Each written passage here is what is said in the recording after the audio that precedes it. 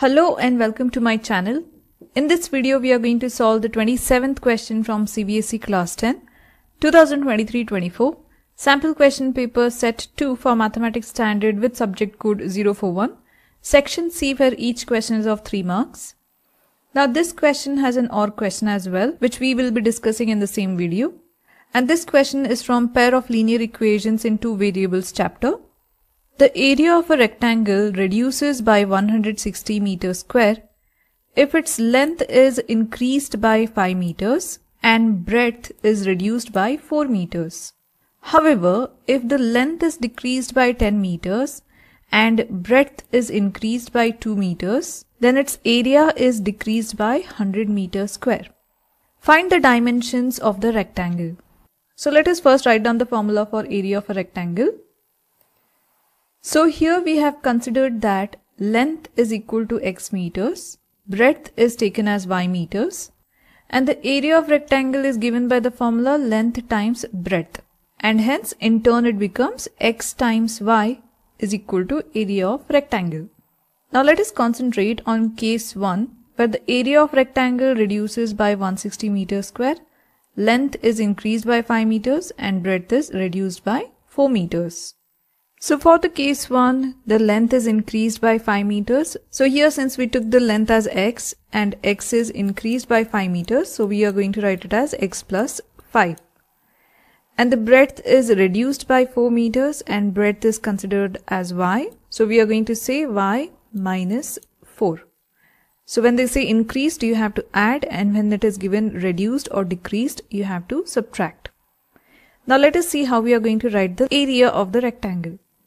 Now length we got it as x plus 5. So let us write x plus 5 multiplied with breadth is y minus 4 is equal to area of the rectangle we had seen it was x times y and in case 1 the area is getting reduced by 160 meters square. So we are going to write here xy minus 160 since it is getting reduced.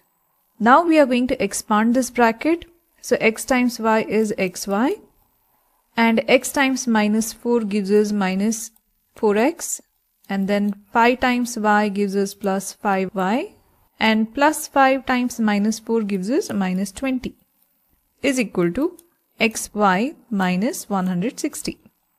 Next, now xy from both the sides will subtract each other. So xy and xy we can cancel and we are left with minus 4x plus 5y and let us take minus 20 on the other side of equal to sign. So we get minus 160 and minus 20 becomes plus 20. Now let us further simplify this. We are going to get it as minus 4x plus 5y is equal to minus 160 and plus 20 gives us minus 140. Now let us consider this as our equation 1. This is for case 1. Now let us consider the case 2 where the length is decreased by 10, breadth is increased by 2 and area is decreased by 100 meters square. So we are going to write here in a similar fashion. So for the case 2 we have written the length has decreased by 10 so x minus 10, breadth has increased by 2 so y plus 2 and length times breadth. Length is x minus 10 times breadth is y plus 2 is equal to now area is reduced by 100 as it is given over here. So area is going to be xy minus 100. Next we are going to expand this bracket that is x times y is xy and x times plus 2 is plus 2x and minus 10 times y is minus 10y and minus 10 times plus 2 gives us minus 20. This is equal to xy minus 100. Similarly, as it was in the previous case, the xy and xy from both the sides will subtract each other and we are left with 2x minus 10y and let us take the minus 20 on the other side of equal to sign. So we get minus 100 and minus 20 changes to plus 20. So here we are going to get 2x minus 10y is equal to minus 100 plus 20 gives us minus 80. Now let us consider this equation as equation 2. Now let me write both the equations together. So here the equation 1 and equation 2 both I have written together. And to get the value of x and y, we are going to perform simultaneous equations using elimination method. So I'm going to multiply the entire second equation by 2. So the first equation remains unchanged. So here it is going to be minus 4x plus 5y is equal to minus 140. And now the second equation, all the terms are going to get multiplied by 2. So 2 times 2x gives us 4x and 2 times minus 10 gives us minus 20y is equal to 2 times minus 80 gives us minus 160. Now let us just add the terms.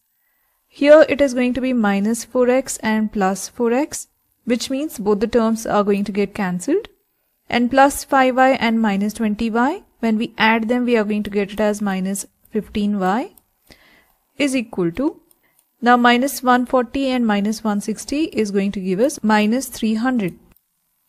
So here we are going to find out the value of y is equal to minus 300. Minus 15 goes on the other side and divides the minus 300. So here the minus and minus cancels and 15 1 times and 15 20 times gives us 300. So the value of y is 20 which means the breadth of this given rectangle is 20 meters. Now using the breadth we can find out the length that is the x. So choose any one of the equations. So I'm going to choose the second one that is 2x minus 10y equal to minus 80. Let me write here. So choosing the second equation now we are going to just substitute the value of y as 20 in this given expression. So here 2x minus 10 times 20 is equal to minus 80. So further solving this, we get 2x minus 10 times 20 is 200 is equal to minus 80.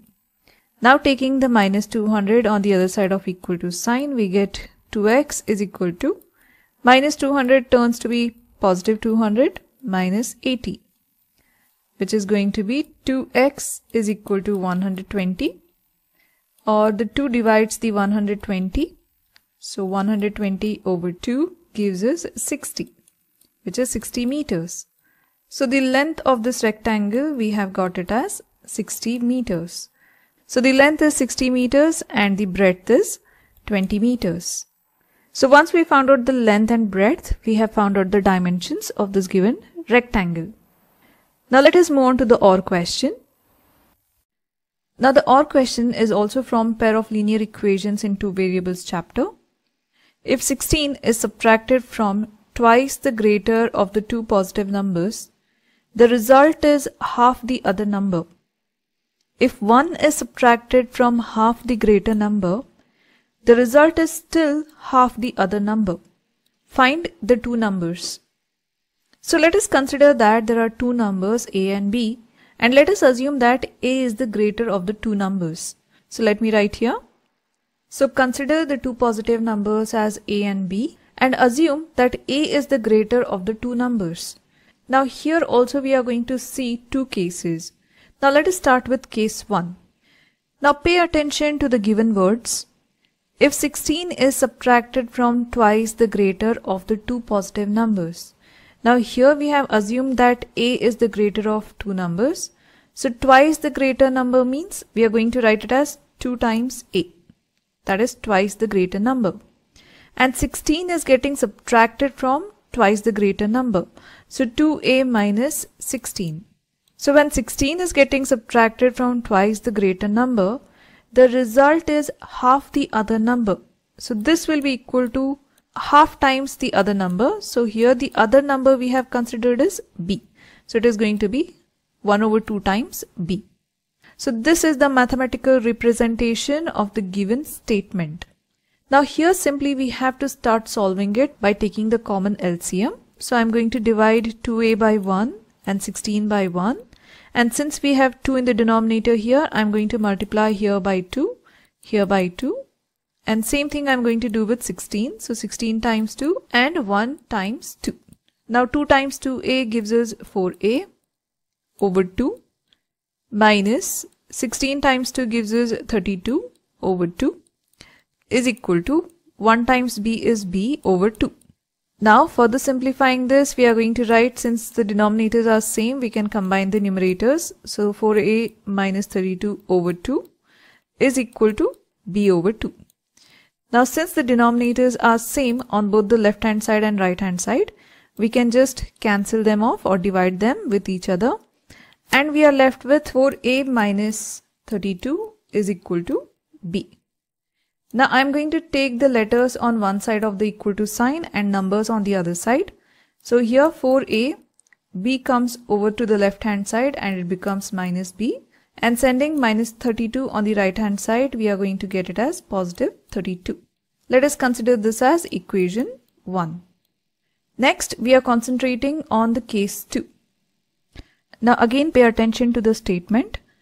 If 1 is subtracted from half the greater number and here we have assumed that a is the greater number so half the greater number means we are going to write it as 1 over 2a and 1 is getting subtracted from this number. So half of a minus 1 and the result is still, so this is still equal to half the other number. So 1 over 2 of b because b is the other number. So similarly here also we are going to take the LCM and only the missing number over here is 1 over 1. So here I'm going to multiply 1 by 2 and 1 by 2. So here we are going to get 1 times a is a over 2 minus 1 times 2 is 2 over 2 is equal to 1 times b is b over 2. Now here again a minus 2 I'm going to combine it because the denominators are same.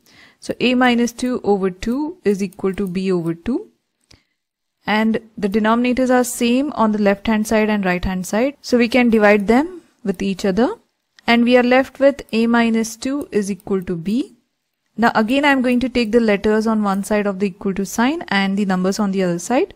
So b comes over to the left hand side and we get a minus b and minus 2 moves on the other side of the equal to sign and it turns out to be positive 2. Now let us consider this as equation 2. Now again we are going to perform the simultaneous equations of these two equations. So let me write them together.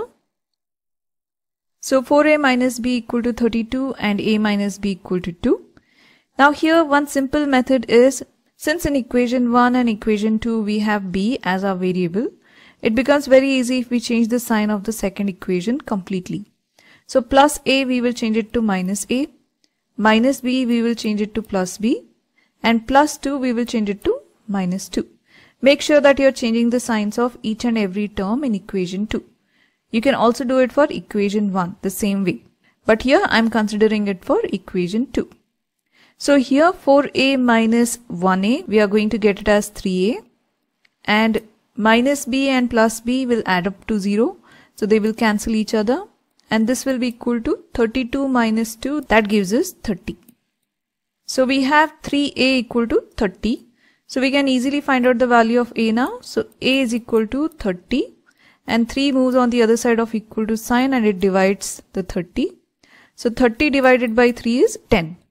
So we got the value of the first number as 10. Now either you use the equation 1 or equation 2 to find out the value of b.